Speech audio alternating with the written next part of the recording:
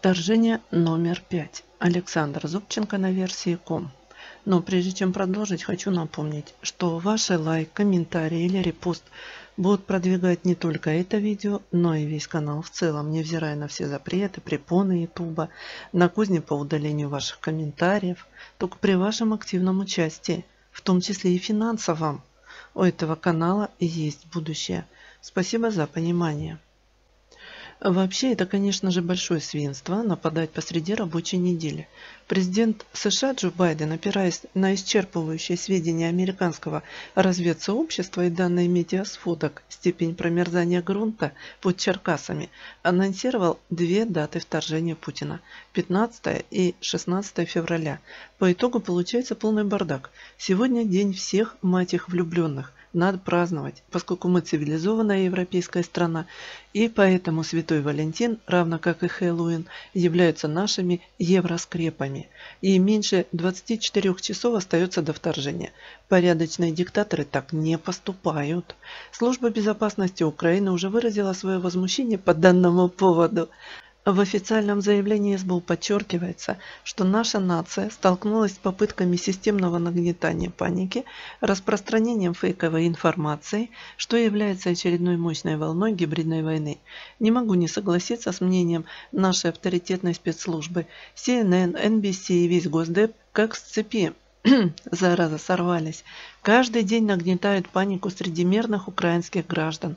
На минувших выходных британские страховые компании, оперируя фейковой информацией Байдена о нападении, отозвали страховки у самолетов, которые имеют неосторожность летать над территорией Украины. Поскольку большинство аппаратов находится в лизинге, их владельцы объявили о прекращении полета в нашу паралимпийскую сверхдержаву. Некоторые рейсы стали сажать в Кишиневе, чтобы люди могли полюбоваться земными красотами, продолжая свой путь в Киев на удобном автобусе. КЛМ сразу отменила все рейсы. Люфтганза собирается сделать это сегодня после 16.00. В экстренном порядке собрался украинский Кабмин и постановил выделить 16,5 миллиардов гривен, около 500 миллионов долларов, на создание страхового фонда авиаперевозчиков. Уже глубокой ночью бюджетный комитет Верховной Рады одобрил это историческое решение, которое должно было поставить на место взорвавшихся британских страховщиков. Теперь начнется авиаромашка. Верю в украинский фонд? Не верю. Те, кто верят, полетят, остальные будут воздерживаться. Прямые убытки на лицо. И это, заметьте, еще Путин не вторгся. Вот так фейки, распространяемые прокремлевскими СМИ, бьют по нашей суверенной экономике. Закрывают мерзавцы небо над страной. К счастью, большинство украинцев абсолютно спокойно восприняли новость о предстоящем вторжении. В основном побежали насквозь прогнившие олигархи. Улетел Ренат Ахметов, точнее он и не возвращался в страну с января месяца. Как и Виктор Пенчук, который с начала года безвылазно сидит вместе со своим тестем в уютном лондонском доме. Харьковский олигарх Александр Ярославский так торопился уехать, что дважды переехал по пути в аэропорт живого человека, который затем скончался. Но не он сам, а его кортеж. До закрытия неба очень быстро улетели на бизнес-джетах Вадим Новинский, бизнес-партнер Ахметова, представители так называемого крыла Левочкина в УПЗЖ Вадим Столар и Игорь Абрамович, а также известный киевский застройщик Вася Хмельницкий. Петр Порошенко, как пишут ТГ каналы Офиса Президента вывозит в бронированных инкассаторских автомобилях банка ПОМБ Рената Ахметова наличку в Польшу. Ну и свою семью. Кстати, личный самолет Рената Леонидовича вывез в Вену весь клан Гордонов, родителей, сыновей, дочерей, племянников, всего 12 человек.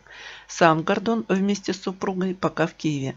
Но меня больше всего трогают Посты простых украинцев, которые покидают страну накануне анонсированного Байденом фейкового вторжения. Вот что пишет в Фейсбуке сотрудница Радио Свобода.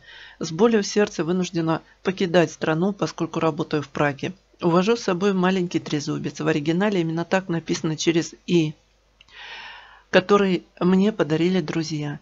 Я люблю тебя, Украина. Зараза, до слез. В комментариях под постом начался лютый срач на тему эвакуации. Остающиеся в стране с помощью различных образов, имеющих отношение к порнографии, выражали свое отношение к журналистке, которая так вовремя свалила из страны. Говорить о начале президентской программы «Большая эвакуация» еще рано, но все предпосылки уже, как говорится, налицо.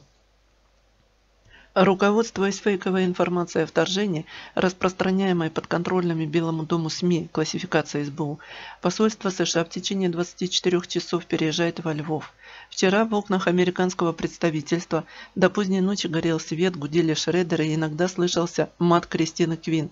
Британские дипломаты в этом отношении гораздо шустрее своих заокеанских коллег. Они даже флаг успели снять со здания посольства, которое расположено аккурат возле украинского МИДа. Львов постепенно превращается из культурной столицы нации в дипломатическую. Туда переезжают посольства США, Великобритании, Германии, а почему-то и почему-то Австралии. Правительства 41 страны мира настойчиво рекомендовали своим гражданам покинуть Украину в ближайшие сутки. Причем израильские дипломаты рекомендовали это сделать дважды. Сначала немедленно покинуть, а затем ускоренно уехать. Судя по всему, наши стратегические партнеры были в курсе насчет операции «Закрытое небо», которую провернули британские страховщики, поэтому бежать своим гражданам предлагали с использованием наземного транспорта. В Польше уже развернут возле границы с Украиной чудесный палаточный городок. Готов готовы принимать беженцев как с американскими, так и с европейскими паспортами. Дипломатическое представительство Нидерландов очень скрупулезно подошло к вопросу эвакуации. Выпустило специальное разъяснение по поводу собак и кошек, а также хомячков, которые голландцы хотят вывести из Украины, пока только Гондурас не призывал своих граждан покинуть украинскую территорию. Молодцы ребята, не поддаются на фейки, запускаемые в медиапространство администрацией нашего стратегического партнера.